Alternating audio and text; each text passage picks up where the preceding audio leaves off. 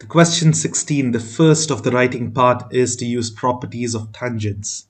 This is from the module 5.5. Here we have been given a figure and they have told to find the value of x. We need to assume the segments that appear to be tangent are tangents and round the answer to the nearest hundred if needed. Now, which over here looks like a tangent? Tangent is something that touches the circle at outside of the circle only at one point. See now if we have something like this, a circle, this line which cuts two points is a secant. Even this is a secant, secant. As we go close enough, there will be one line which only touches one point. It passes such that it will only touch one point. And that is a tangent. And when you draw a straight line, say like this, from the tangent to the center of the circle, it always forms a 90 degree over here. So now here we can easily observe that this cannot be a tangent. This is the radius over here. But this one is a tangent because this is cutting inside the circle, whereas this is touching only outside the circle. So this is a tangent at the point G. And this will be the 90 degree angle. Now then, if this is the case, what can we use here? We can use the Pythagoras theorem. For Pythagoras theorem, we can write hk, that is the hypotenuse. This is the hypotenuse. And this are the other two sides, you know, the adjacent, I mean, adjacent of the 90 degree. So here we write hk the whole squared will be equal to jh and jk jh the whole squared plus jk the whole square. this is pythagoras th uh, theorem now what pythagoras theorem says is the square of the hypotenuse is the sum of squares of the other two sides and now we will substitute what is J, h and k it is x squared equals what is jh it is 15 squared plus jk is 20 squared. Technically, if you write the formula, this is the first one, the substitution and then the answer directly, you should get full marks. Why? Because you have written the formula, you have written the substitution and you can use your calculators and get the answer. But over here, what I'm just going to do is I'm just going to do one more step.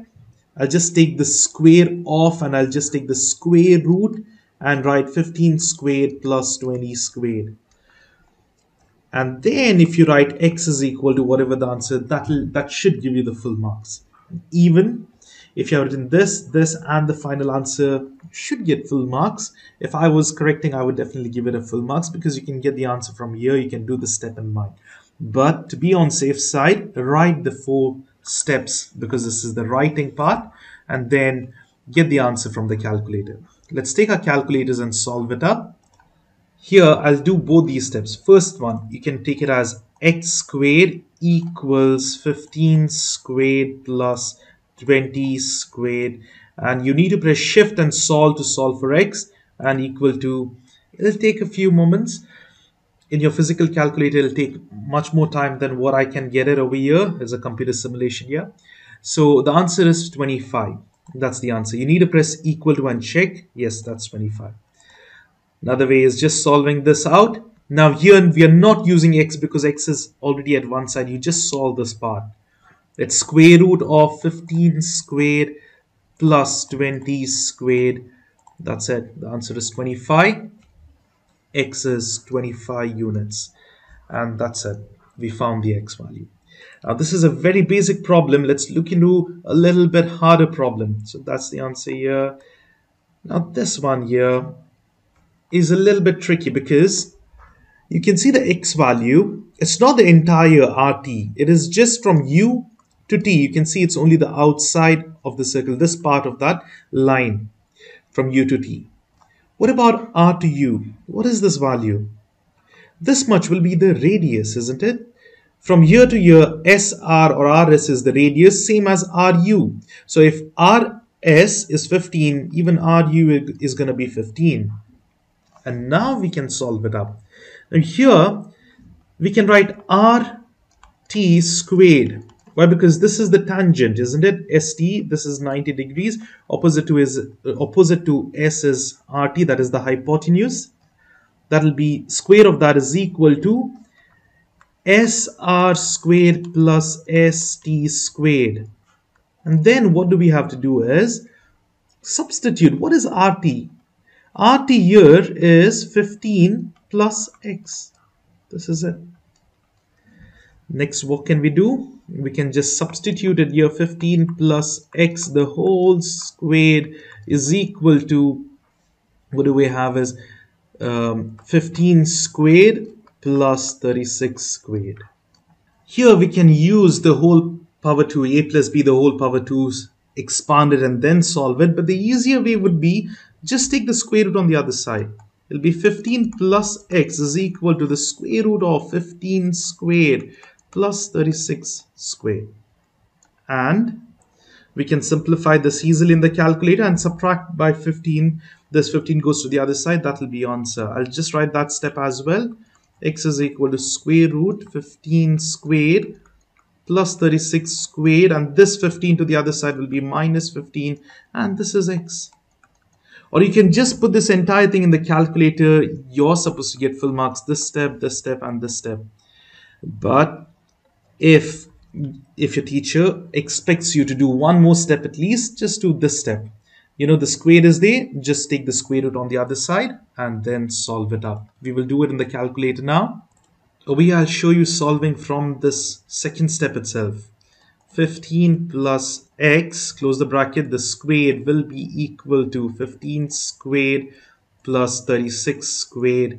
Shift and solve. This is not the answer. This is the previous store answer. You need to press equal to and then press again equal to. The answer is 24 or else what we can do is we can just do the square root 15 squared. That's sorry 15 squared plus 36 squared press next. Don't put the minus 15 over here. This is wrong. This is absolutely wrong. You need to put the minus outside of square root. The square root is only for 15 squared plus 36 squared. Here is minus 15 the answer will be 24 both the answer matches over here or uh, you know from this step. So x is 24 units and that is the correct answer here you can see 24 now if you're gonna use power 2 if you're gonna expand I would suggest you not to do that. It's just gonna be you know you're use a plus b the whole squared formula for this expansion and you get a quadratic form and then you can use calculator and find two answers ultimately you'll get one negative and one positive. Negative cannot be the answer. But if you do the method which i just showed you you will just get one true answer. You don't need to involve quadratics over here because this method is also absolutely right. Now what about this problem? Now if you have understood the concept of this you better try all these problems by yourselves. I will be solving all the remaining problems, but you can just go ahead and solve them by yourself. You can Pause the video now, solve it, and then check for the answers only. Here, this ZB looks like the tangent. So we consider that to be the tangent. It doesn't look like it is the tangent because they've clearly told assume the segments that appear to be tangent are tangent.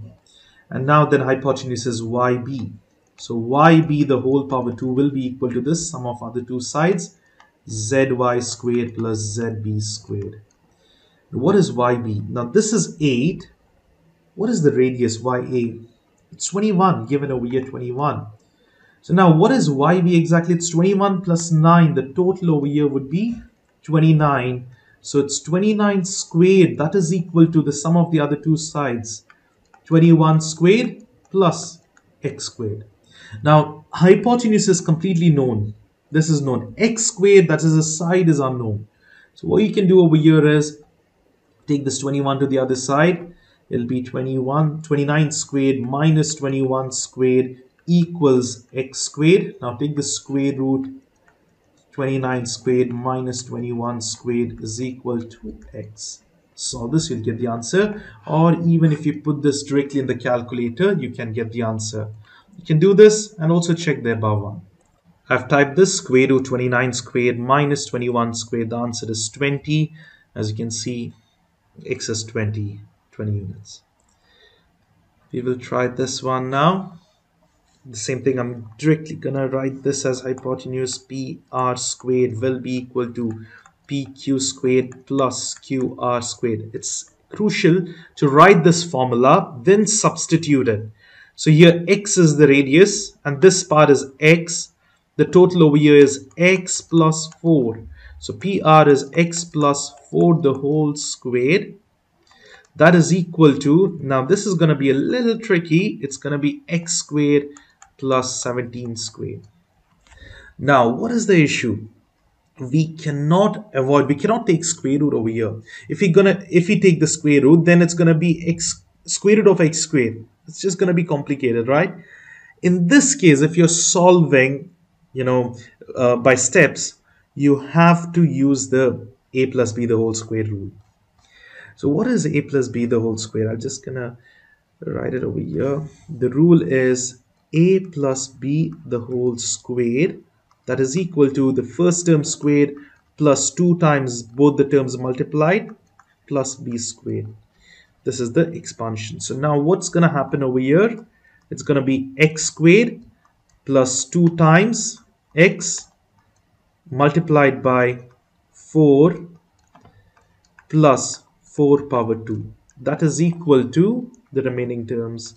That is x squared plus 17 squared. Now here it's going to be a quadratic. Now we take this to the other side. Oh, sorry it's not going to be a quadratic because it's going to cancel out this x squared over here and over here cancels off.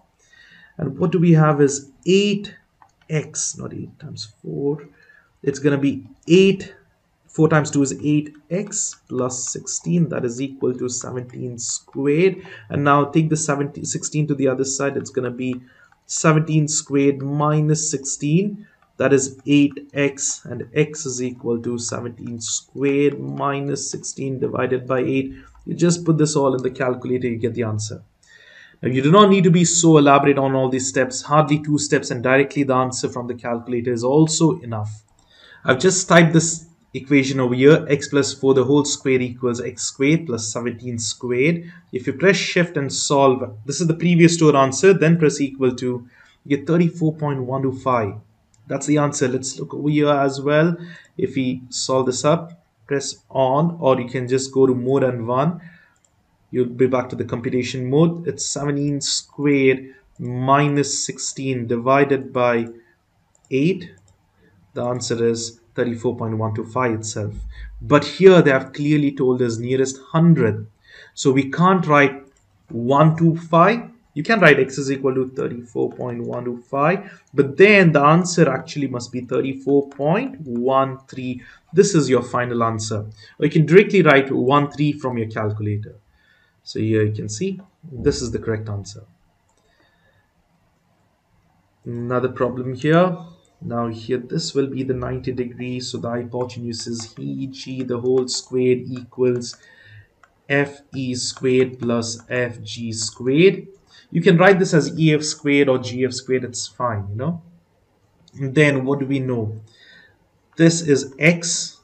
So I'm gonna write x plus 9 the whole squared. That is equal to fe is x squared again plus fg is 15 squared It's gonna be the first term squared plus 2 times x times 9 plus 9 squared. That is equal to x squared plus 15 squared.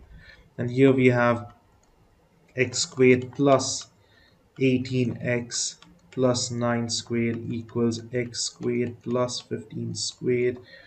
We can cancel it off and we will just take x will be equal to 15 squared minus 9 squared 225 minus 81 divided by 18 put it in the calculator and you will get the answer.